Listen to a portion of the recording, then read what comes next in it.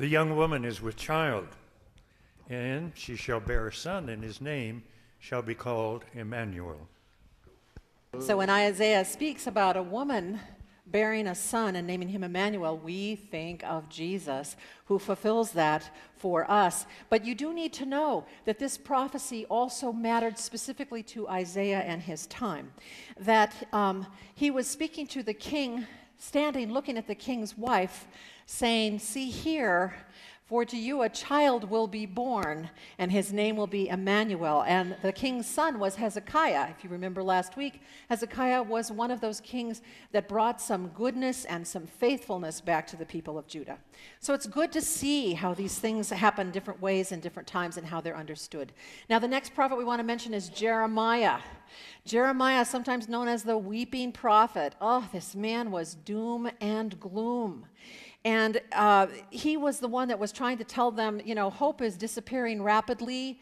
The, you are going to be hauled away. Jerusalem's going to fall. The temple is going to be destroyed. He had a tough time keeping his spirits up, and God actually takes him aside at one point and shares with him some hopeful words, which we will recognize. John. Right. You youngsters will know Jeremiah as Jeremiah was a bullfrog. The word came to Jeremiah from the Lord Come, go down to the potter's house, and there you will hear my words. So I went down to the potter's house, and he was working at his wheel. The vessel he was making of clay was spoiled by the potter's own hand. And so he reworked it into another vessel that was good and pleasing to him. O house of Israel, can I not do this with you, just like the potter has done? Just like the clay in the potter's hand, so you are in my hand, O house of Israel. A timeless and hopeful prayer. Now, the third prophet I want to mention to you is Ezekiel. And Ezekiel is important because he was a priest before Judah fell. Um, he was part of the, the leadership of the people, and God calls him out to be a prophet, and the way his prophecies come is through visions. And he is one of the first, uh, the first to be taken away into exile, along with that first wave of leaders and uh, important people. So his prophecies uh, speak uh, to the time of the exile and the time after the exile, and they're these amazing visions. Listen to a couple of them. Ezekiel's first vision is full of fire. You see it? And four creatures with four wings each, all within wheels. Can you see them? Within wheels and wheels. All beneath a crystal dome, on top of which was a fiery, seemingly human form with splendor all around it. This figure was the Lord who spoke to Ezekiel, calling him to be a prophet.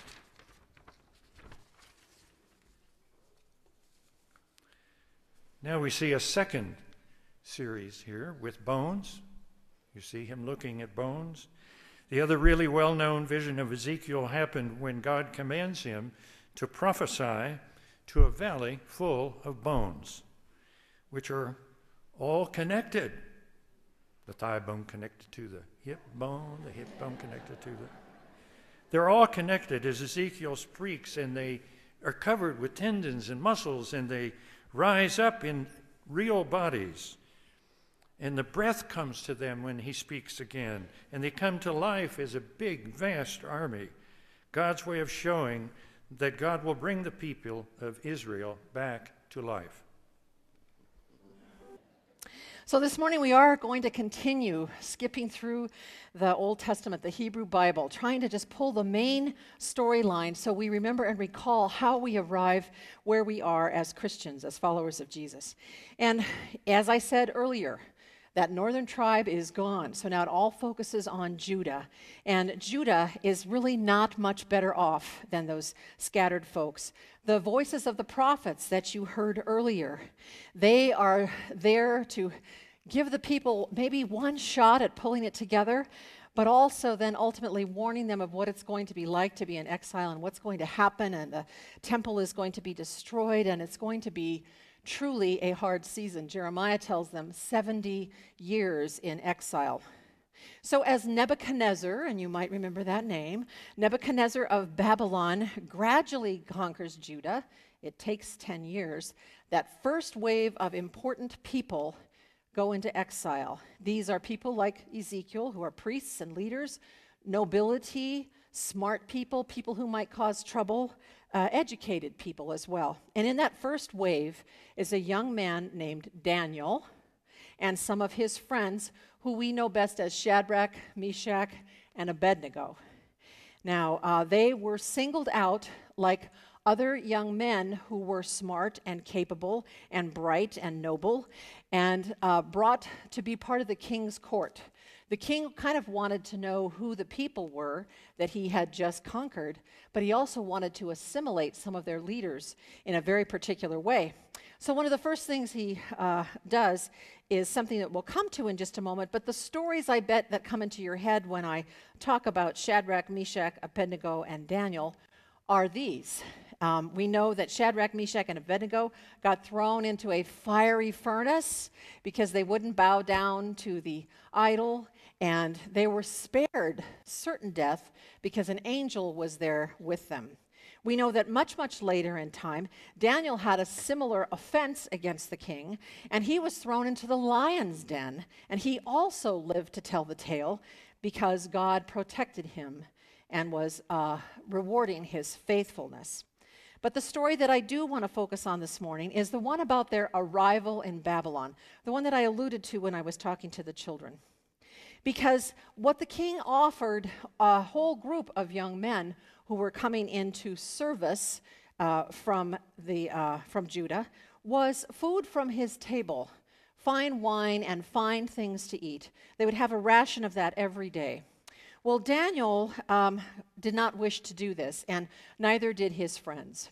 And so he went to the, um, the palace master who was responsible for all of them, and he said, You know, we don't want to pollute our bodies with this food.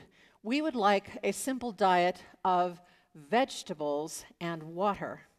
And at first, the palace master was very reluctant to do this because um, it would fall on his head if they didn't thrive. But he finally agrees to let them do it for 10 days. And in this 10 days, they prove to be the strongest, fittest. They look bright, they look wonderful, they look far more um, capable than the others. And so he lets them continue.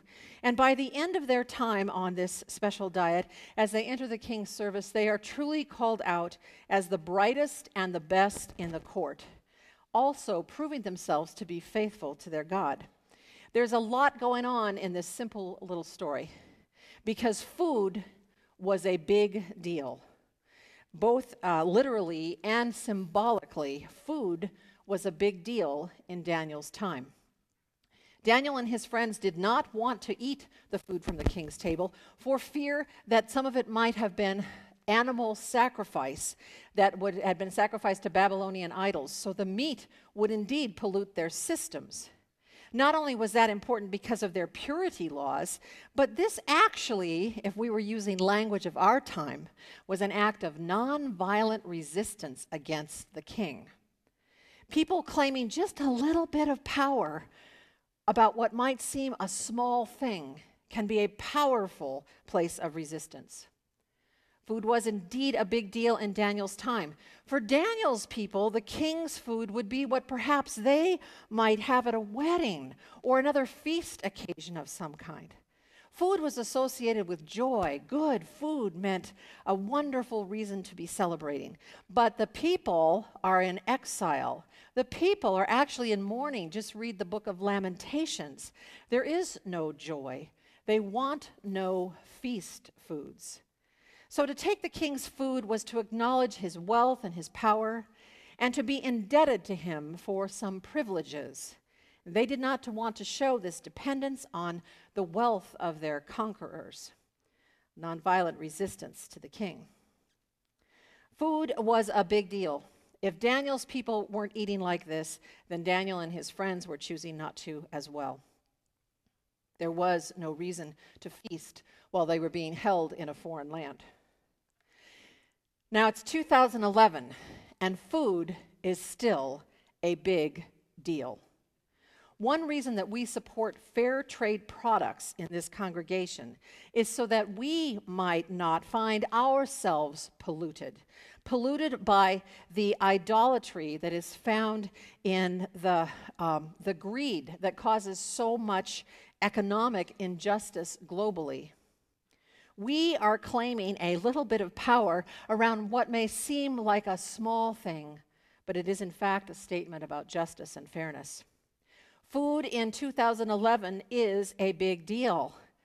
Now, while it's not the goal of my reflection this morning to leave us all feeling guilty about food, we are all aware that some inside and many beyond our congregation are food insecure all the time.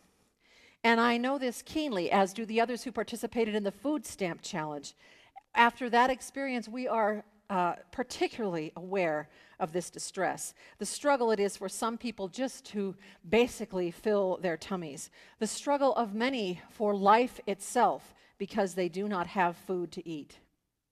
While some of us eat a little too much and with incredible ease. In Idaho, in Idaho, there are 235,000 people on food stamps right now. I got this figure from uh, Idaho Health and Welfare. I talked to them in their offices this week. And Jeannie was right. Half of those are children. The remainder are people who are unemployed, who are the working poor with jobs that don't pay enough, who are seniors on fixed incomes, who are folks with disabilities. And all of them are feeling this food insecurity. This is a cause for sadness. There is little to celebrate about how we distribute food on this planet. If you control the food, you control the single most essential need in any of our lives. And Daniel and his friends wanted to control their own food choices. And in doing that, in their choices, they did also what they could to stand up in their faith. And that, I think, is the challenge for us. There are so many choices in our lives, many things that we do control personally, even though there are some things that are beyond our control. But these choices we make can and do impact the lives of other people, some of them near and some of them far away. And we are not people in exile, we are free. We live in a nation where we can impact the policies that shape the lives of the people who struggle the most. It's complicated, it takes effort, it takes us educating ourselves, it takes us showing up in public ways. This is the hard work of loving our neighbor as Jesus taught and as Jesus lived. As we come to communion this morning to share this simple meal, this challenge is what I leave you as food for thought. Amen.